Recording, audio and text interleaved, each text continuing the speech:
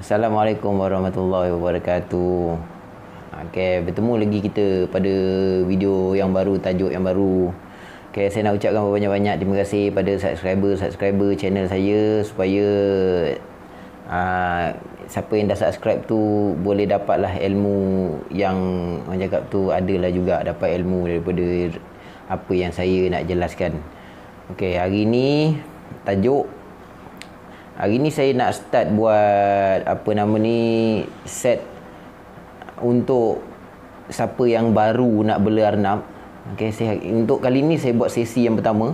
Sesi yang pertama tu maksudnya kita nak buat kita nak buat guideline, guideline untuk siapa yang permulaan nak bela arnab. Saya kita saya nak buat sesi 1, sesi 2, sesi 3, sesi 4 sampailah sepenuhnya lah supaya supaya uh, korang tak apa ni tak silap tak silap dalam membuat pilihan lah.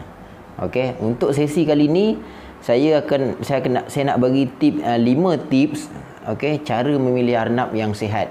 Uh, maksudnya kita starting daripada korang ni tak ada beli arnab langsung. Okey, kosong.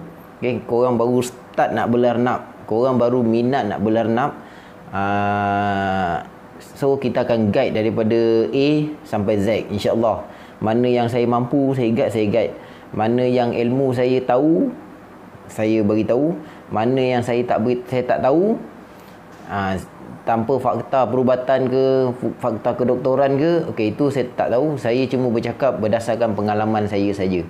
Okey untuk sesi kali ni saya nak bagi uh, lima lima tips cara memilih arnab yang sihat bermula daripada anda kosong. Okey kosong okey biasanya kita okey biasanya kita akan uh, kita akan yang pertama sekali sebelum kita nak beli arnab okey uh, mesti kita akan cari uh, macam mana arnab nak beli apa semua baka yang sesuai ke macam mana cara dia. Okey tapi saya nak beri anda semua nak beri saya nak beri korang uh, tips 5 tips uh, untuk permulaan.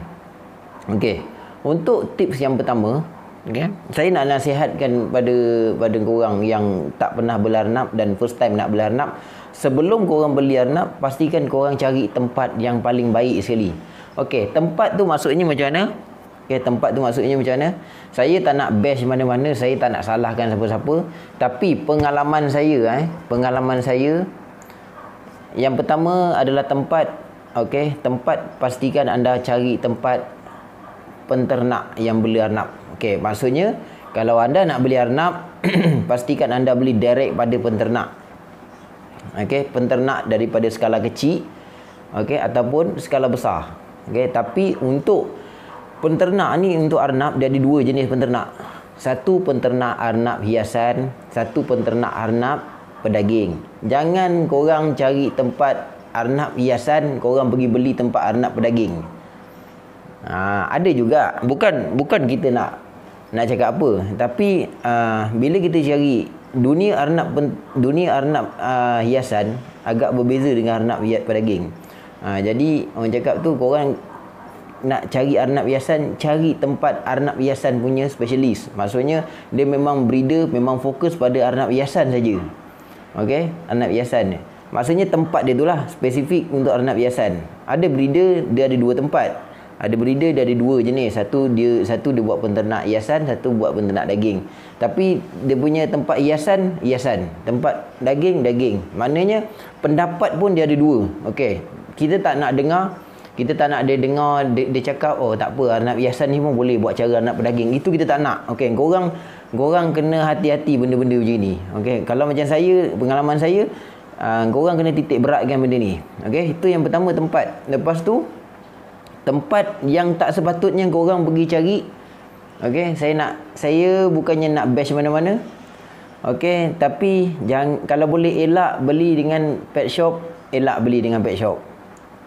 Okey okey tak semua mungkin mungkin tak semua pet shop tapi majority pet shop jual arnab anak arnab dia tak putus susu. Ha, tak putus susu selama 60 hari. Jadi kat situ sangat bahaya. Okey tempat adalah satu tem, satu benda satu tajuk yang korang kena ambil, ambil berat. Okey, korang kena ambil berat.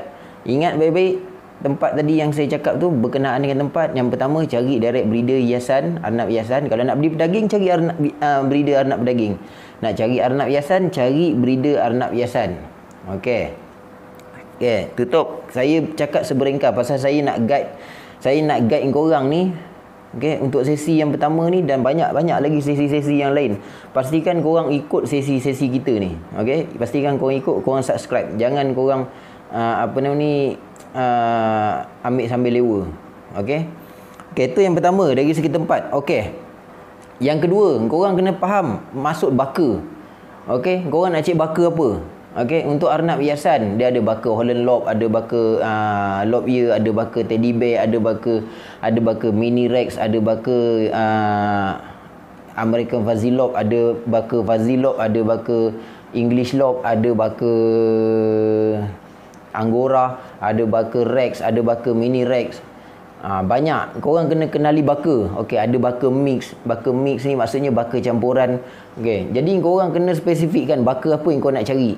Ha, jadi ada baka-baka yang senang jaga, ada baka-baka yang agak senang tapi leceh. Ada baka yang nampak cantik tapi leceh, ada baka yang nampak tak cantik tapi leceh, ada baka yang nampak cantik tapi tak tapi tapi tak leceh, ada baka yang nampak comel sepanjang hidup dia dia comel ada baka yang nampak macam waktu dia waktu dia kecil comel waktu dia dah dia dah dewasa tak comel. Jadi korang kena betul-betul cari baka apa yang korang yang korang nak pilih. Okey jangan uh, korang untuk permulaan untuk permulaan daripada zero saya nasihat dengan korang saya nasihatkan korang kat luar sana yang nak cari arnab okey cari arnab baka mix dulu. Jangan beli baka terus baka mahal. Okey, korang tak tak ada ilmu, tak ada tak ada tak ada ilmu, tak ada siapa-siapa guide dengan secara berdepan, korang tiba-tiba pergi beli baka mahal. Ada setengah breeder, dia tak kira pun. Dia tengok asal customer nak, janji janji customer nak dia jual. Ada banyak breeder yang tak beri guide, tak beri tak tak beri apa nama ni? guideline pada pada customer tak suka beri saranan pada customer customer nak apa dia bagi customer nak apa dia bagi customer nak apa dia bagi macam saya dulu saya tak suka begitu okey untuk permulaan untuk permulaan belajar uh, saya sarankan ambil baka yang paling senang nak jaga adalah baka mix baka pet baka arnab hiasan tapi dia baka mix. Uh, so baka mix ni uh, nanti akan saya akan jelaskan pada tajuk yang lain lah. Uh, so uh, bak baka baka dah clear. Kalau uh, kalau tak clear nanti komen kat bawah lagi. Uh, kau boleh buat pertanyaan nanti saya akan jawab dekat dekat pertanyaan tu lah. Okey yang tips yang ketiga dari segi penjagaan. Okey maksudnya kita dah cari tempat yang baik kita dah cari baka kita dah tahu baka lepas tu kita nak tahu breeder ni jaga dia macam mana. Okey breeder arnab ni dia jaga dia macam mana? Kita tak nak macam breeder arnab hiasan. Okey kita nak kita tak nak kita, saya tak suka rekomenkan pada pada korang yang zero yang tak ada ilmu tentang perkara ni. Saya tak nak guide korang uh, ataupun korang dapat pada breeder dia jual arnab hiasan tapi cara pem, cara penjagaan dia tu okey penjagaan arnab dia ni dia buat macam arnab ternakan arnab ternakan tu maksudnya maksudnya arnab macam cara arnab pedaging lah ha, maksudnya penjagaan dia tu tak sesuai dengan maksud arnab hiasan.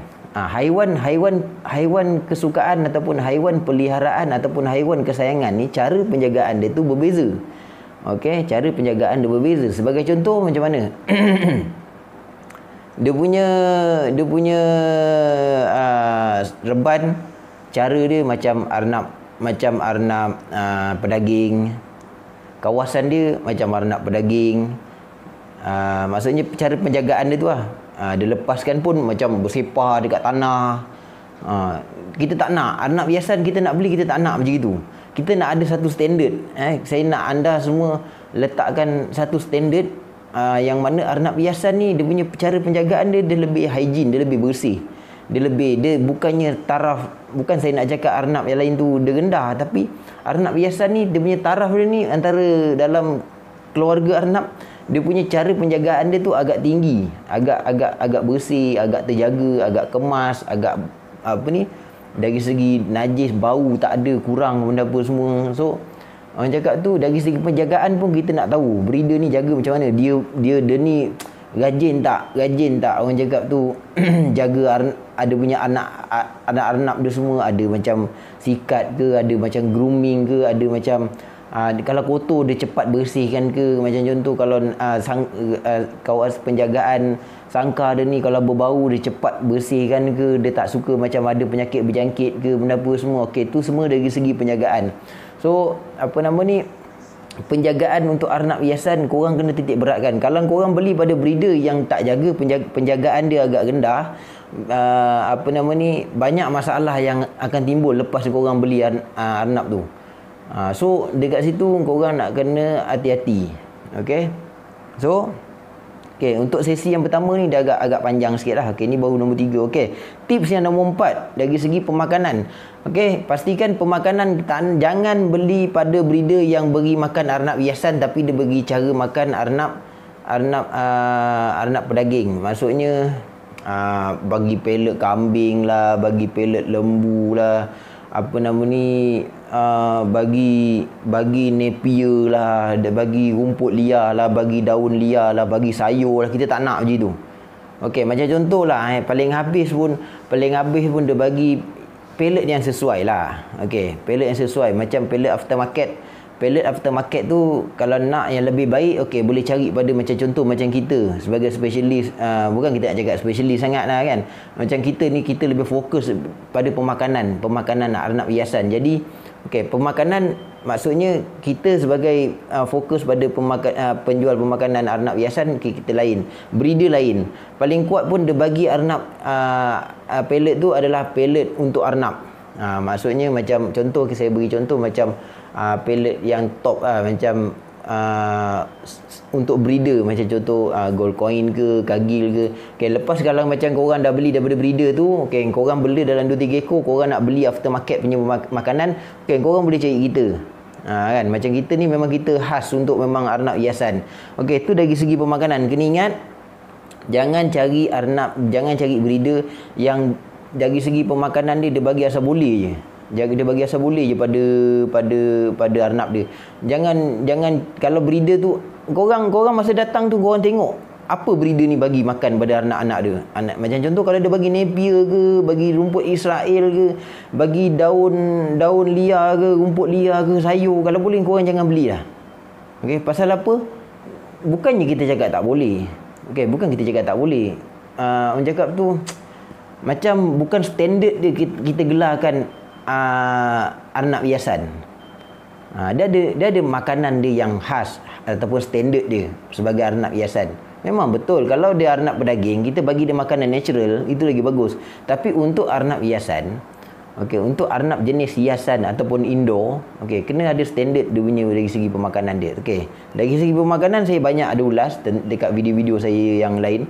Okey, so kita skip yang terakhir sekali saya tak saya tak saya tak bercadang nak buat video ni lama-lama satu satu tajuk eh. Okey, yang terakhir sekali adalah pemilihan sangka. Okey, pemilihan sangka ni bila kau dah setuju, okey dari segi penjagaan, dari segi tengok kawasan dah okey, breeder jaga makan pun dah okey, dah cantik.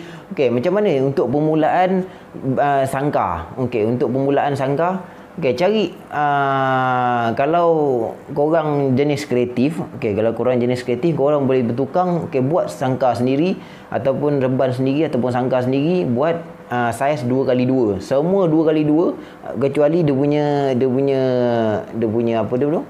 Kaki sangka dia tu orang korang buat antara lantai dengan tempat lantai sangka dia tu buat jarak jarak satu kaki ataupun satu kaki setengah. Okey, korang kreatif korang buat sendiri. Kalau tak kreatif, korang boleh buat beli sangka yang dah siap macam sangka kucing ke kan apa-apa semua.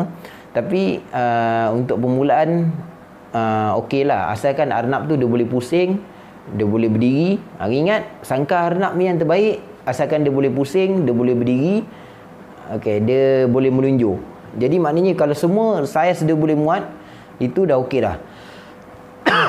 okey, itu dia dah okey. Okey, lepas tu uh, korang dah boleh bawa balik. Okey. Uh, setakat setakat tu je sesi kita untuk yang pertama ni. Uh, bila korang dah selesai benda semua, okey sangka tu pun dengan sangka korang dah bawa balik benda pun semua. Jangan lupa, jangan lupa beli air botol dia, botol bekas botol air dia. Lepas tu dengan uh, mangkuk mangkuk makanan dia tu mangkuk, kalau boleh cari yang mangkuk jenis uh, tanah liat. Tanah liat. Besar-besar macam gini je. Besar-besar macam gini. Lepas tu tinggi macam gini. Ha, so tamat untuk sesi kita video yang pertama. Tips macam mana nak cari pilih arnab yang sihat okey? Uh, jangan lupa kita jumpa pada sesi yang kedua okey? Pada tajuk yang ni tapi sesi yang kedua. Ha, so jangan lupa subscribe okey? Setakat tu je video saya kali ni okey? Assalamualaikum warahmatullahi wabarakatuh. Bye bye assalamualaikum